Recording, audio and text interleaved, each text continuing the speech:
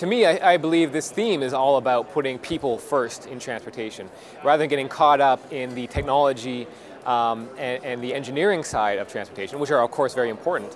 Uh, I think sometimes we lose track of the, the, the real goal of this, of, of, transportation is mobility and access uh, for societal values.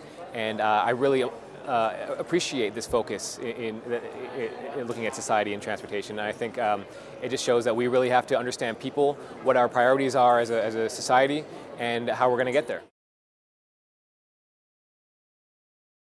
I was looking at the uh, very on theme. I was looking at the societal aspects of transportation, um, trying to understand the uh, uh, the consumer side of electric mobility and how it is that consumers come to value um, uh, new technologies that, that may be more sustainable and particularly the role of social influence in that, in terms of how people uh, work with their friends and family and their, their near surroundings of people to integrate sustainable practices into their own lifestyles.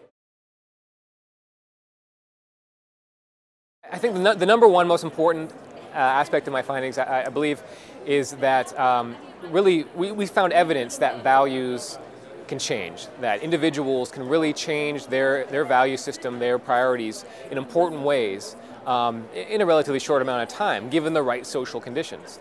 And so this goes against some of the more conventional perspectives that individuals are, you know, these rational beings, uh, really just influenced by price and by information, and uh, you know, uh, socially isolated in their decision making.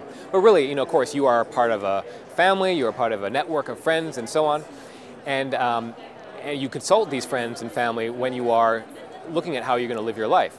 And what I found is that, you know, if a given individual is, is open to environmental lifestyle, to sustainable mobility practices, they, uh, they can actually switch towards, like shift towards that priority if they find support within their, their network. And that, that's really the most important thing.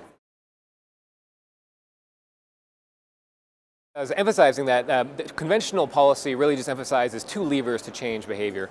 One is to change the price of the thing you were trying to get people to buy. So if you make hybrid vehicles cheaper, people will buy them. The second lever is through information, so that the gov governments will often try to uh, diffuse or disseminate information to try and change people's behavior. But really, the, the social influence lever is really ignored uh, by policy, and I think should really be looked at more seriously, understanding how an individual interacts with their friends and family and how that can change their behavior. And so I think policy can more directly use those levers either through sending a message that this, you know, of why this vehicle is being promoted, you know, making it clear that we, we as a society want to have hybrid or electric vehicles to, to reduce gasoline use and so on. Um, and to uh, put it out there, to, to, to facilitate and stimulate discussion of these uh, important practices and values in society, uh, that can really uh, push us as a, as, a, as a culture towards valuing these practices uh, uh, more directly. And I think that's, that's a really important finding from this.